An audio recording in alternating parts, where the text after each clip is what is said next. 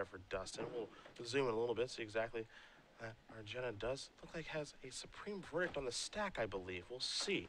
There's also an Umezawa and a sword of fire and ice in play, a couple of lands here. So we'll see exactly what's going on here Spencer is up a game. Yeah, this is. Uh, we kind of expected Jund to actually defeat Esper Deathblade, so I'm surprised he's down a game. Although Spencer's got some really powerful equipments in play, and Dustin, I can't see what does. Yeah, it looks like he's got some more mana there, and he does have the punishing fire combo going. Uh, one smart person on Twitter does say that it is much harder playing in a shirt with sleeves, which It's yeah, that's that is true. it's exhausting. That is true. It's a lot more exhausting. And do want to give some credit here to Lloyd Kurth as well. I'll tell you what, forcing that Lotus Petals. I mean, that play may, may actually won in the game. I'm not even kidding. It looks Yeah. it looks crazy. No, it, it, it definitely did Yeah. because of the scalding tarn. Yeah, that play may have just won him the game. Brilliant. Yeah. Play of the night. Wow. So let's see here. Dustin facing off against two really impressive pieces of equipment. Fortunately, Spencer does not have anything to equip to it. It looks like he has two creatures in his hand. Again, he's facing down the Punishing Fire combo, though. So very difficult to equip creatures, especially if they're two power or two toughness or less. Let's see what Spencer can do here. He's sitting at a relatively healthy 10. Dustin at 15. Here's a Stoneforge Mystic. All he needs to do is get one creature on a Sword of Fire Ice, but I don't know if he's ever going to be able to do it. That's the tough part. This Punishing Fire is always just going to be running rampant. So, might be might be headed to a third game here in a moment. There's Batterskull. Yeah, this is exactly the type of situation we thought Dustin could uh, exploit, and uh, Spencer is going to get a Batterskull. Um, let's see what Dustin decides to do. If Dustin, yeah, if if uh, if Spencer doesn't try to equip here, Dustin's really doesn't have to cast punishing fire just yet. I think he will though because he doesn't want the Batterskull to move away. But because he has lightning bolt in his hand too and an active Deathrite, with Spencer being at ten, he's pretty close to dead. Mm-hmm. But uh, looks like he's just going to deal with that uh, Stoneforge Mystic and then probably drain uh, at the end of the turn. But nope. Looks like he's just going to untap. Doesn't going to draw a card here. That is a Wooded Foothills. And just going to pass the turn back. No rush here. No rush. I'm content with just grinding you out. Karakas. There's a Snapcaster Mage. Here's a Batterskull. Pretty nice. for toughness and all, but Yeah, unfortunately, Dustin does have the Punishing Fire along with the Lightning Bolt. So that can deal with the. But I think he, yeah, I don't think he wants to do it. He doesn't have to do anything yet. He can wait for Spencer to try to equip. Mhm. But then again, he exposed himself a little bit to, to counterspell or, Yep. or some sort of permission if Spencer has any in his deck. I think what Mr. Spencer is looking for is a true name nemesis. I think Yes. that's the card he would like to draw. Yeah, true name would be a sick top. would that would that be good? Would that be good? Do you like that? Yeah. Gonna return punishing fire here. We have seen this before. This is actually what makes things a little bit difficult here for the Esper Deathblade deck is all their creatures outside True Nemesis can be fired down by punishing fire plus Grove of the Burnwillows. Heck, even the Planeswalkers can, like Jace. Jace is actually pretty poor against punishing fire plus Grove of the Burnwillows. So it's about True Nemesis in this matchup and hoping you can get it to live. And if you can get some equipment on it, you're likely good to go. Yeah, that's probably how game one went. I'd imagine it was just, hey, here's a equipment on a true name. Everyone's favorite. So Spencer's currently at six. So let's see here. Can he finish him off this turn? Deathrite drops him down to four. We have a lightning bolt that brings him down to one. You activate Grow the Burn Willows, bring him up to two. You get back your Punishing Fire, and then you kill him. So yes, I believe Dustin might have enough to just kill Spencer this turn.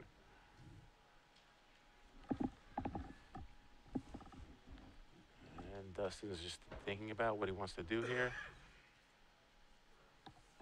Yeah, I think he does have the win available right now. If the life title's correct, I believe he has it. Hey, you just gotta find it, that's all.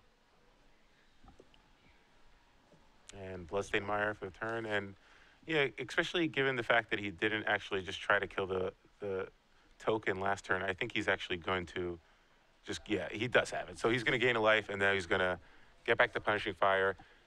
Spencer's going up to seven, and Deathrite Shaman activation plus Lightning Bolt plus Punishing Fire is exactly seven. Boom, lightning bolt. Boom, punishing fire. Boom. Deathrite Shaman. That's it. Boom, All headshot. right.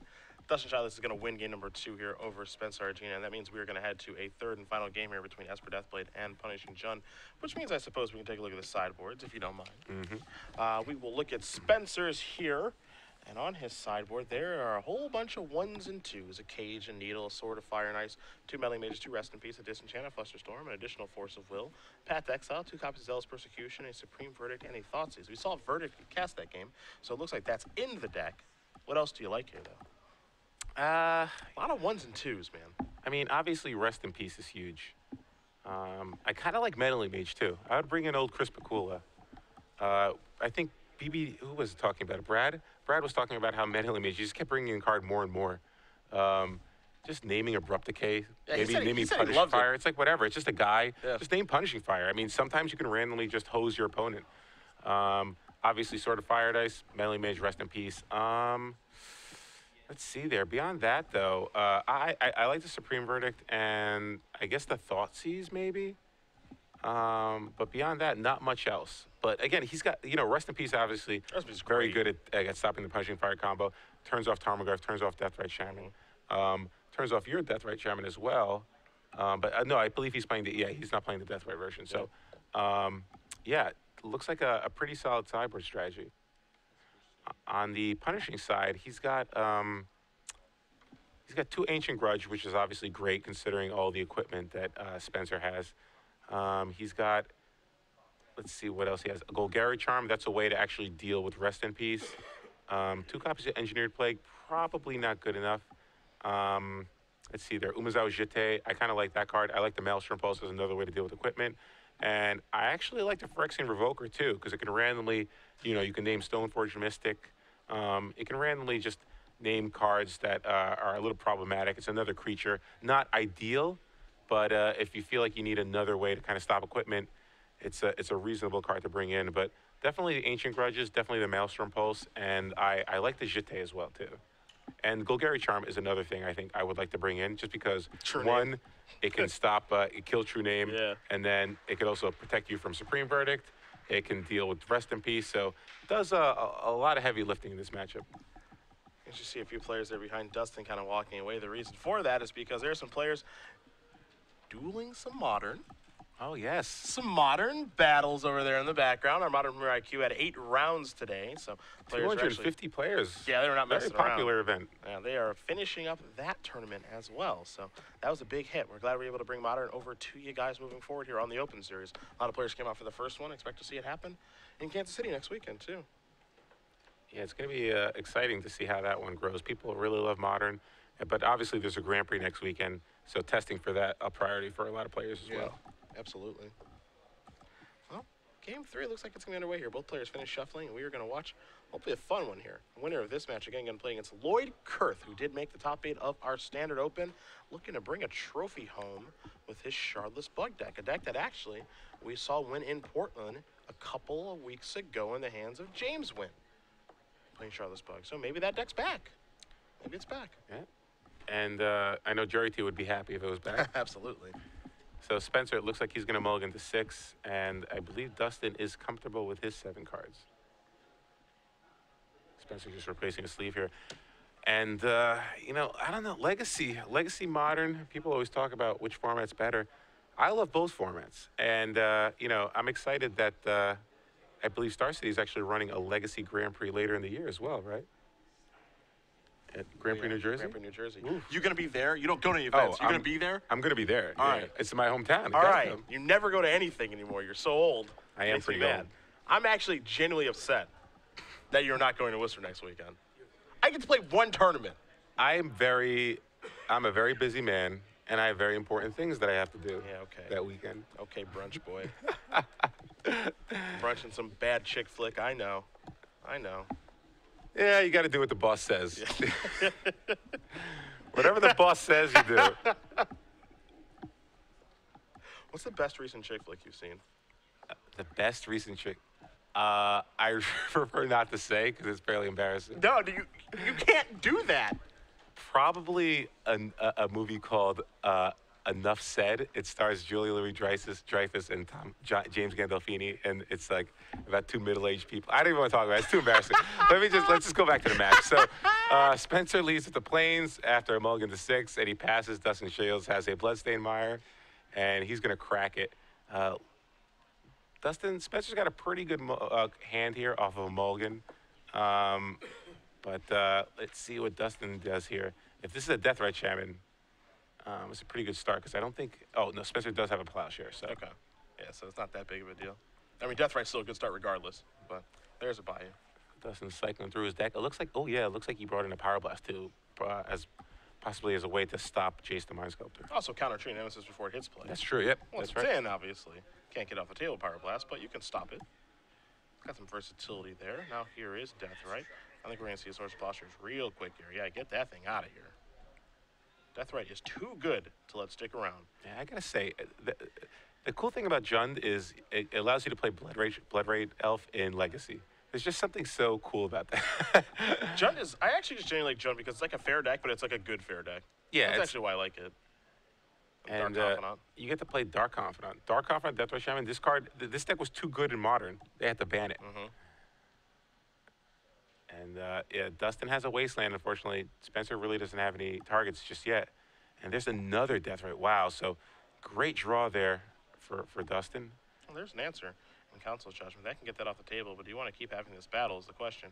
Yeah, especially if you have a Vendilion Clique. Mm-hmm. Really, like I don't expect to stay stay around very long in this matchup. However, a lot of removal there over for Dustin. Brought the K, punishing fire, Yeah. lightning bolts.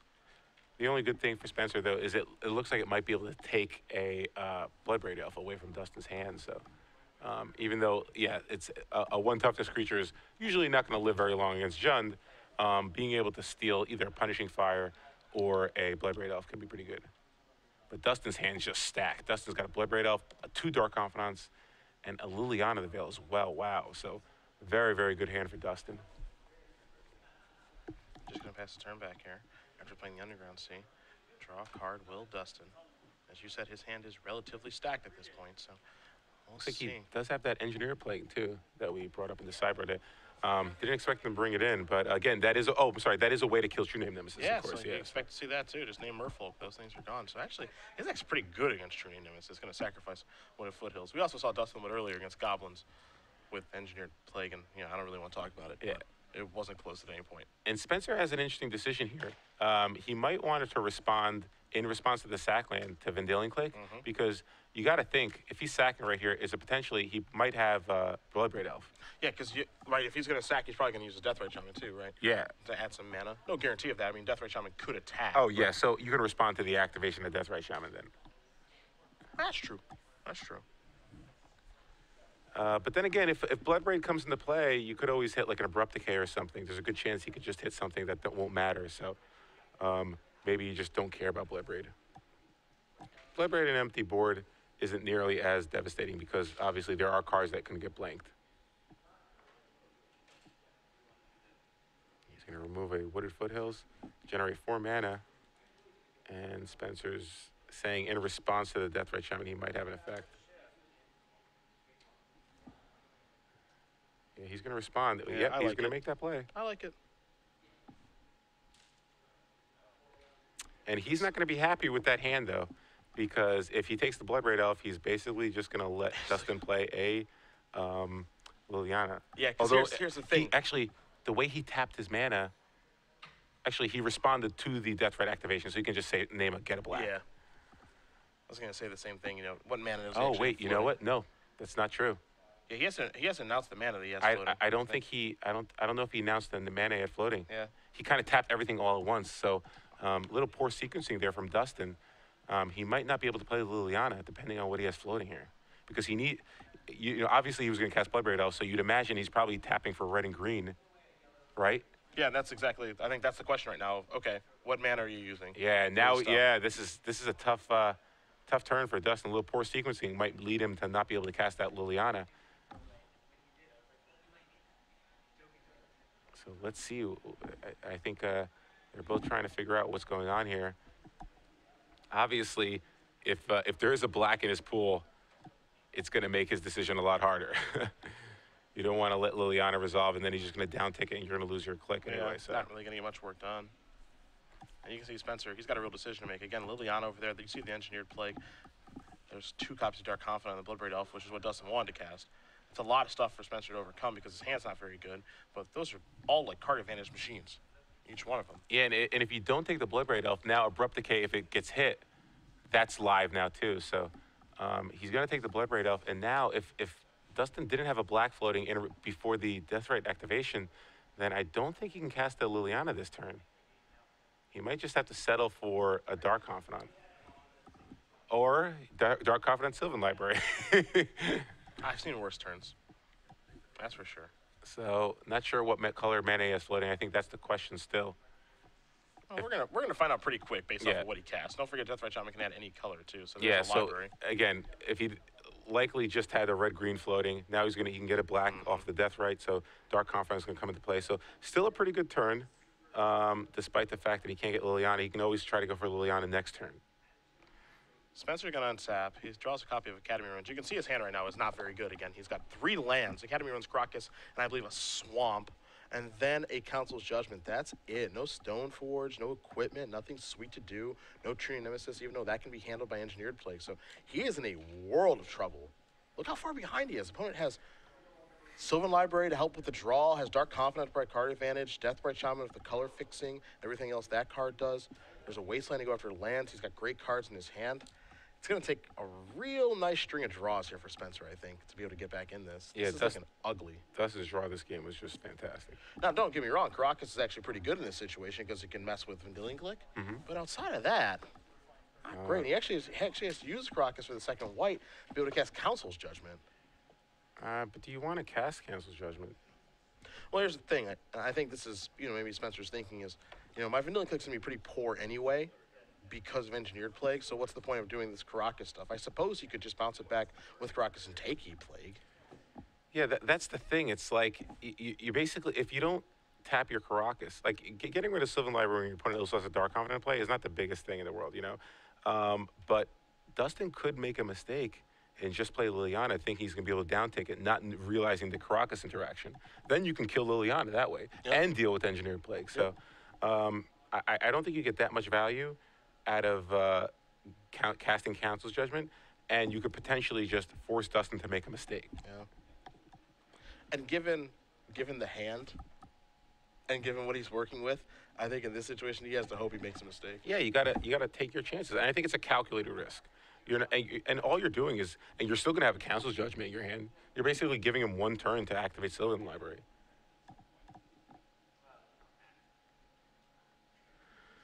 So Dustin now got revealed the Tarmogoyf with that Dark Confidant. I believe he drew an Ancient Grudge, so um, he does have protection against artifacts. So uh, that's huge because obviously True Name Nemesis equipment is one of the main ways Spencer has to defeat Dustin. We're going to see a Liliana. Yes, we are. So Liliana's going to start putting a lot of pressure on Spencer's resources. Dustin's going to be generating a lot of card advantage off that Dark Confidant. And uh, he also has a Wasteland in play, too. Let's not forget. I don't know how he can come. I don't know how he can come underneath this avalanche card advantage. Every single card that's out there for Dustin is providing just an advantage that's cascading right now. Dark Confidant again providing more cards each turn. Liliana, all right, I'm gonna take care of Dilling Click, and now I'm gonna start going after your hand. Yeah, and I, I mean, you kind of said this before the match. You kind of, you know, this we kind of thought Punishing Jund was going to defeat Esper Stoneblade. It just seems really tough for Esper Stoneblade, and there's not even a punishing fire involved in this game yet. No, just a lot of powerful black cards.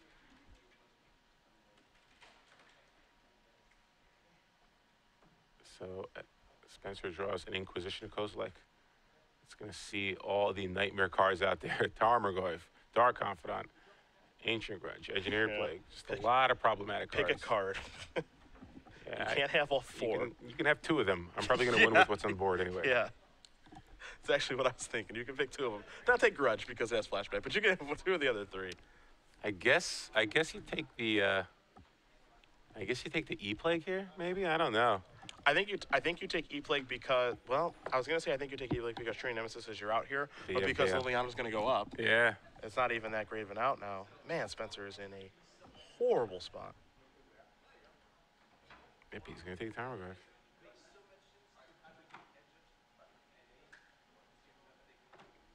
This is going to reveal uh, a Verdant Catacombs with Dark Confidant and draw for the turn. Looks like it's another Verdant Catacombs. And uh, I kind of like getting another Dark Confidant out there. Although Spencer does have double white, so a top deck Supreme Verdict would be pretty bad. It's going to attack for two. Just uptick Liliana, get rid of the last card in Spencer's hand, leave him with just four mana. Yeah, I think last turn he needed to wasteland a uh, Karakas to keep him off a double white. Leon takes up, takes your academy ruins. Play another Dark Confidant. Eh, His life total's high enough that that's not even really risky. Spencer's going to draw a card. This is this is how Jund wants to play literally every game. Just grind you into the ground. And then you can't you can't come back because their incremental advantages are too much to overcome. You know, they're not going to do anything really busted. This here's a path to exile, but they're just going to grind you down with Dark Confidant advantage, Liliana advantage, Punishing Fire advantage. Eventually, what you draw just doesn't matter. What's Spencer's? If Spencer could demonic tutor right now, what would be his best draw? That turn, Supreme Verdict. Is, but he's not even like out of the woods. It's just, it's fine. It's just, yeah, you still have to come down with a, a Planeswalker. yeah.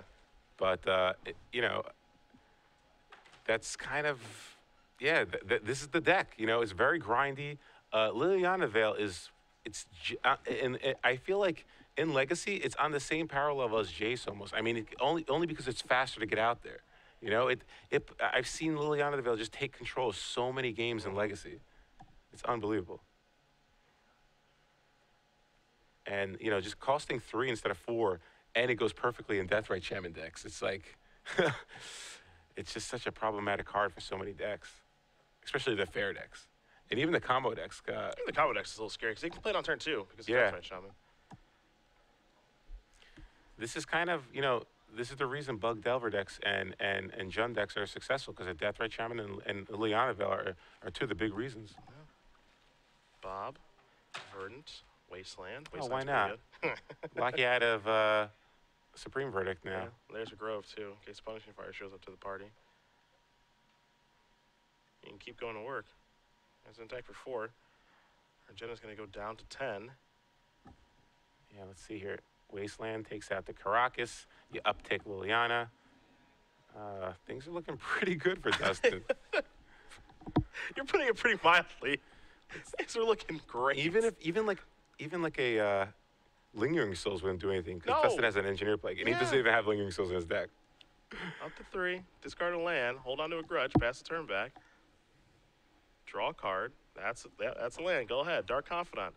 It's actually the way for Dustin win. The, excuse me. The way for Spencer to win this game is Dark Confidant actually killing Dustin. I think. Yeah. And that's just not going to happen. Abrupt Decay and Taiga are the cards revealed. Here comes a card drawn. It's another copy of Liliana. That's a pretty good one to discard to Liliana, of course. Somebody put an Emrakul on top of Dustin's deck. That's Spencer's only chance. In for four we go. Spencer's going to go down to six. Dustin again can move that Liliana elevator up. That's what he's going to do. Be able to make Dustin, excuse me, make Spencer sacrifice creatures if necessary. There goes the Taiga. Just going to pass the turn back. Doesn't have reason to do anything. Spencer going to play a Flooded Strand, pass. You know, it's I mean, even, you know, I was thinking, what if he draws Batterskull? Well, he has an Ancient Grudge. Also, he has a Liliana in play. Dustin going to take one, go down to nine. Third card coming for the turn. I don't think he drew for the yeah, turn. he does need to draw for the turn. He did forget to do that, so we will make sure that happens here in just a moment. Mm, Let's see here. I guess he's thinking I don't really need any more cards to win, yeah. so I'm, let's try to keep this fair. I'm doing you a favor. And uh, yeah, I mean, you don't really need to cast a Deathrite Shaman. You don't want to. Got to play around uh, Supreme Verdict a little bit, but again, it doesn't really matter. So they will get this resolved here in just a moment. Put a pause on this relatively close game. This is pretty close. Yeah. this is my. This this part is horrible for coverage. It's just, all right, we need to figure this out, Jose. Yeah. This is uh, Draw the card, reveal the cards, kill you. This is really close. Yeah. I'm really interested in finding out how this game's going to play out because I feel like, oh, and he drew a Golgari charm as, as uh, oh, the, the last the card he didn't draw, the card he drew for the turn is Golgari charm to protect himself against Supreme Verdict. oh wow, living the dream. Yeah, now I'll play Death Rush. Yeah, yeah sure. No it's problem. safe now. It is definitely safe. There is a grove. This is a taking up. This card, Ancient Grudge, for max value. Oh, all right. Ah, just a land. Don't need that land. All right, so we'll pass here. Spencer draws for the turn. I hope it is a Supreme Verdict. Yeah, it's gonna stick. What it is an extension of the hand. Dustin Charles is going to win this match. His friends behind him are absolutely thrilled because he is moving on to the finals to play against Lloyd Kurth, punishing Jund versus Shardless Bug.